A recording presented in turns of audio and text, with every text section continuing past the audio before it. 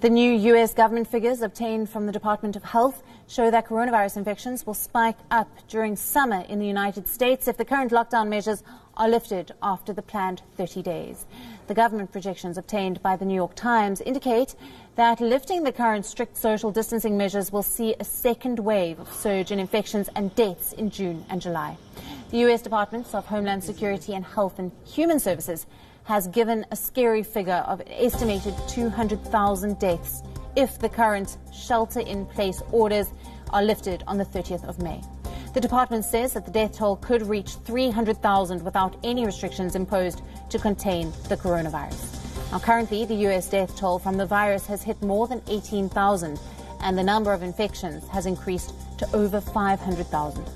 About 95% of the U.S. is currently on some form of lockdown after President Donald Trump issued guidelines that called for 30 days of measures to slow the spread of the virus.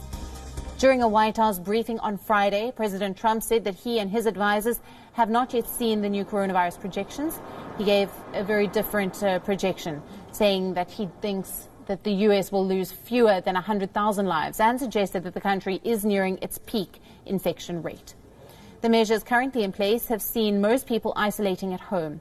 Schools have been shut and businesses have shut down till at least the end of April.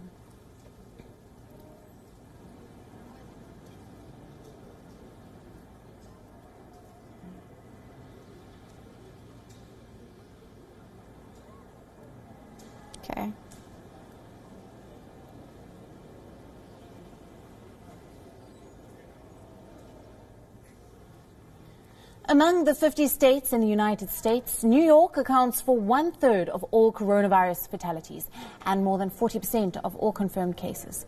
So, what has made New York City the virus hotbed of the United States? Now, the most important reason is the city's massive population. New York is the largest and most densely populated city in America, with 27,000 people living per square mile. The city is characterized by crowded subways and bustling streets. 5 million people ride the subway every single day.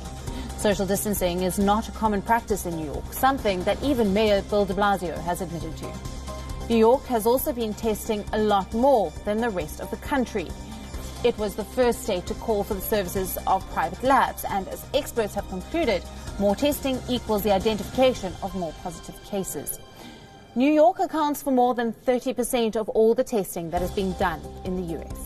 The administration is not completely faultless either. Community transmission was first reported on the 2nd of March, but it was only 10 days later that public gatherings were banned.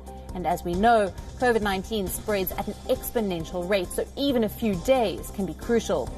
Schools, too, continue to remain open even after 2,300 confirmed cases. Finally, New York's identity as a global city has worked against it. It is one of the most visited cities in the world for both business and leisure trips.